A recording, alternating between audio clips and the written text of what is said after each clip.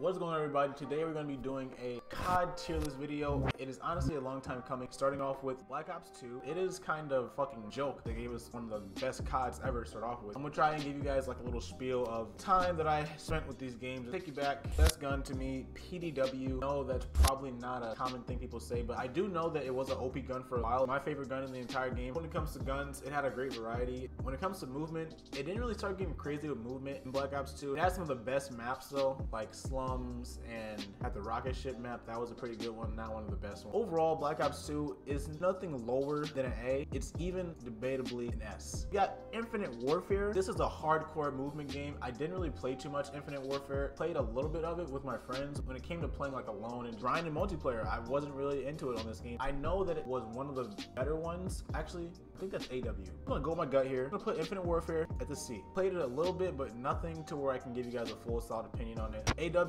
that was the one where the movement was also out of this world. It was different in a good way. A lot of these movement games, well, I didn't play as much. I'm trying to think of like just maps, and when I think AW, nothing really comes to my mind. There's not really a gun besides a speakeasy that I'm pretty sure could have been an Infinite Warfare, so like I'm not even for sure about that. Best map, I can't even get anything to come to mind. Ranking system, nothing comes to my mind. But I know that this game was widely liked when it comes to the movement series. So for that, I think that I'm gonna put it also with the Infinite Warfare, even though I think it's a little bit better the masses. I haven't played it myself, so I'm gonna put it right there as well. We got Call of Duty 2 here. Never played this one. We're gonna go ahead and throw this in the never played category. Although I did play Call of Duty 3, which is crazy to think about. That I've been playing the COD series for so freaking long, but I did play Call of Duty 3. It was really just like an army game with a story. I don't really remember there being a multiplayer. There might have been.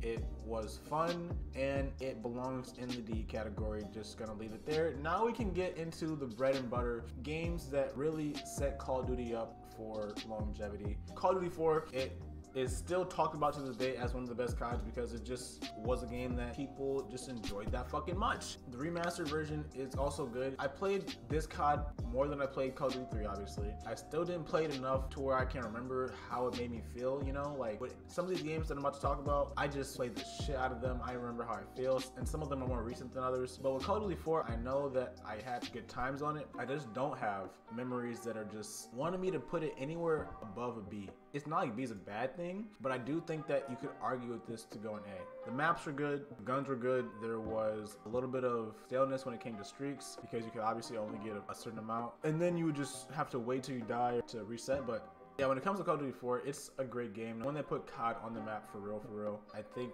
with that we can leave it a B. The next one, Black Ops 4, I want to put it in fucking B again. I want to put it in B and then just move COD 4 up to A because that just looks right. I don't think Black Ops 4 deserves to be next to COD 4 because when it comes to just iconic history and shit like that, they're just not the same. I think we're going to do that. I think that's fine. I think that's feasible. And I think that I won't get flamed because of that. Now we're going to go to Call of Duty Ghosts, another game that I did not play enough of, man. Like there are some CODs that I played a lot of and I just didn't like, but there are some CODs that I played a lot of and loved but there's some CODs that I played none of, and that's honestly Ghost, man. Like I saw Ghost looked like. I saw a little bit of gameplay, played a little bit of it. The movement wasn't for me, that's for sure. This was one of the weirdest CODs, if I'm being honest, because the movement was, well, not, not I don't know if it was a movement, but I feel like the the maps were trash. I do remember that like blatantly. I think that this honestly deserves to go in C as well, man. C as well you know, I really don't think that the D is for anything other than these, you know, really low tier games that are just put out to get the franchise started, I guess you can say. Moving on to Modern Warfare, I kind of have mixed feelings about this game because I like it. I like it a lot more than I think I should.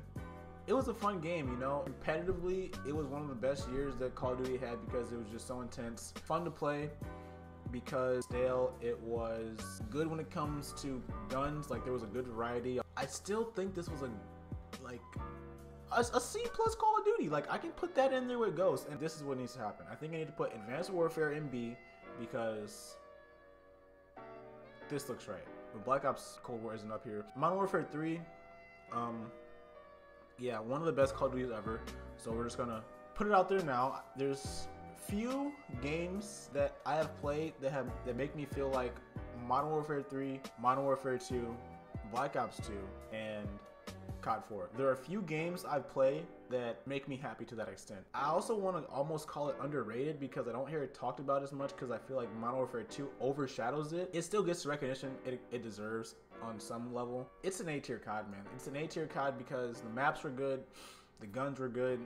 When you can just think of a COD and think of certain moments and maps and guns that you know you used and loved using, like it just that's how you know the game left a good impact on you. That's how you know the game was fun and you know, it left that long lasting emotional feeling on you. So that's, in my opinion, how you judge a game. But moving on to World at War, this was another game that I started playing really early.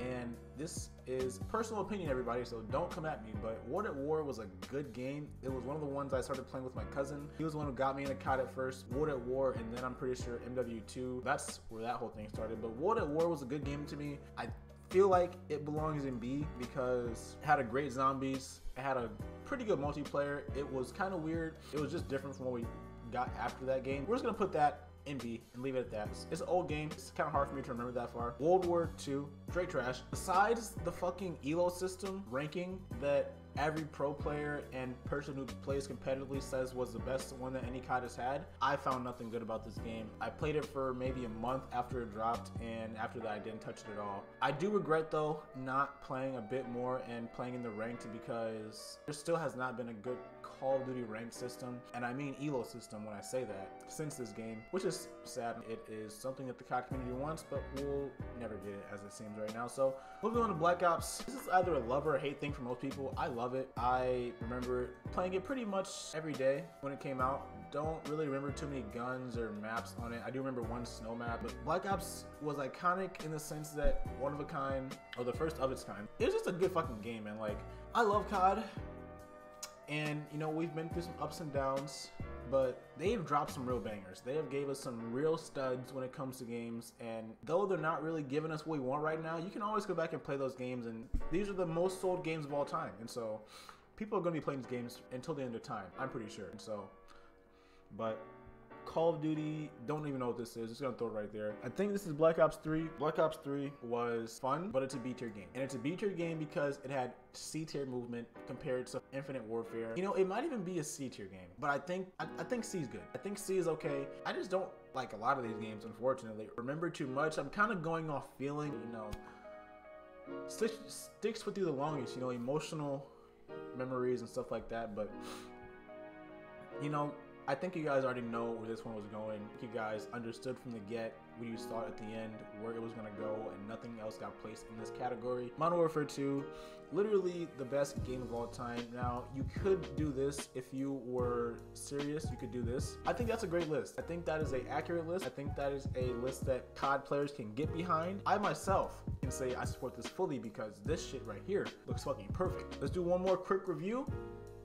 do one more, you know, little dash through, see what we got here. So S tier, Modern Warfare 2, Black Ops 2. I don't know what it is about the second generation when it comes to these games, but they're fucking dope, man. They did not miss when it came to these two games. Easily the most talked about in the Call of Duty franchise, and it just goes to show because they hold the most weight when it comes to nostalgic feeling and overall make you feel good, man. Like these two games were one of a kind and need to be remastered multiplayers. Like the community just fucking needs it at this point, man. It's not even funny how long we've been waiting to get a Modern Warfare 2 remastered. No one even talks about Black Ops 2 multiplayer remaster. We just want Modern Warfare 2 because it's the best. A tier games, Call of Duty 4, Modern Warfare 3. I think that list can stay. And also Black Ops, the first one. I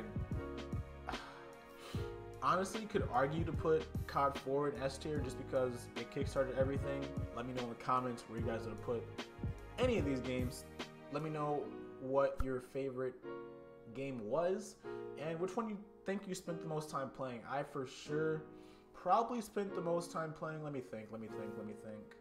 I had a lot more time back then, so it had to be Modern Warfare 2 or Modern Warfare 3 or Black Ops 2. One of those three are the ones that I played the most. Let me know which one you guys played the most and maybe what level you guys got to in them. I don't know. Just let me know what COD you guys is, what COD is your guys' favorite. And with that being said, hope you guys enjoyed this tier list maker. Once again, shout out to Taylor Morris for giving me the inspiration for the video. He did one yesterday and posted on this channel. So if you guys want to go watch that, go subscribe to him. I'll leave a link in the description. And I'll see you guys in my next video.